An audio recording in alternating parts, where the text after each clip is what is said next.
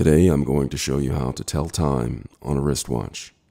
That could be kind of difficult because there are no numbers on a wristwatch, so I'm going to help guide you through it. But before I do that, I'm going to go ahead and put the watch on as if I'm telling the time with the watch on, which most of you out there will probably be doing. So once I have the watch on, you can see that the, the watch is on. What I'm going to do is I'm going to look at the dials. Now the small dial represents the hour, or rather the shorter dial represents the hour, and the longer dial represents the minute. Now, because there are no numbers in here, you are going to have to associate the position of the notches, or the diamonds in this case, in this watch. You're going to have to associate the position of the diamonds with the hour that's supposed to be there. So, with that being said, at the very top, right here, that is 12, okay? So that will be associated with the hour. 12, 1, 2, 3, 4, 5, 6, 7, 8, 9, 10, 11, and 12, okay? So that represents the hours. Now, with that being said, they also represent the minutes.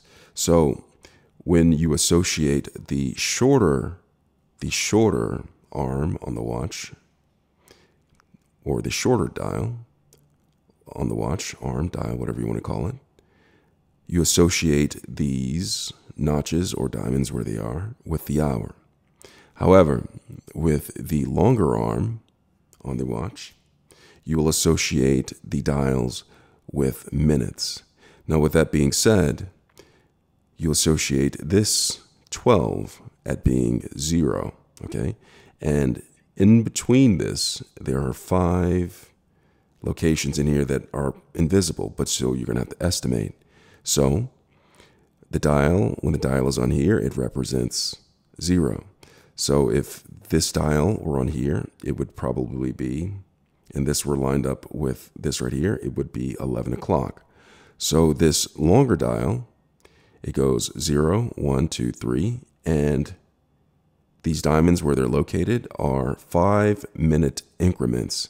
So it's 0, 5, 10, 15, 20, 25, 30, 35, 40, 45, 50, 55, and then 60. So it represents 0, 60 are essentially the same thing. You don't say it's 11, 60 o'clock, you would say it's 12 o'clock. So once it gets to 60, that represents 0. So you don't say 60, you just say 0 or 11 o'clock, 12 o'clock, 2 o'clock. So I'm going to take this off and I'm going to show you a little bit of what it would look like. Okay, so I have this off and I'm just going to rotate the dial right here for demonstration purposes, demonstration purposes, so you can see what the time would be. So if I have it right here, this is 11 o'clock. You see the shorthand dial is on that right there. That's 11, remember? And this 60 is zero, so 11 o'clock.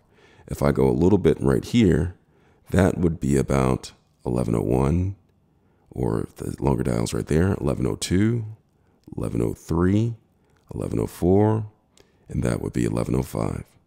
Now, if I bring the longer arm down all the way down like this, and the shorter dial is right here, that would be representative of 1130. Now, the shorter arm doesn't go from 11 to 12 right away. It goes slowly. So there will be in between. And that so like right now it's in between 11 and 12 and this dial is right here, it still represents 11. So it's 11:30. If I move the dial, do you see the shorter dial getting closer to 12? Now it's 11:35. 11:40, 11:50, and as I approach going close to 12, you see the shorter dial getting closer to 12. 1145, 1150. The shorter dial is getting really close to 12, 1155, and 12 o'clock. So that is how you tell the time on this right here. But also note that with this, you're going to have to do AM and PM. So AM and PM is not represented on this watch, so you're going to have to know if it's daytime or nighttime outside and associate it with AM or PM. This will just do 12 hour increments of day. All right. So right now, it would be this would be representative of one o'clock, 115, 130, 145, and so on. And so, like, once you've learned how to do this, I'm just going to go ahead and adjust the dial to get back to the time of day that it currently is. It's currently 1055. So I'm just going to wind it back to this right here. 1055 is close to 11, but not quite. So it'll look like it's 11, but not yet. So it's 1055 or 1056. So this would be right here would be 1055. All right. Right there would be 1056. And after that, I'm just going to go ahead and set that. And that's how you tell time on a wristwatch. I hope this video was helpful. Thanks a lot for watching.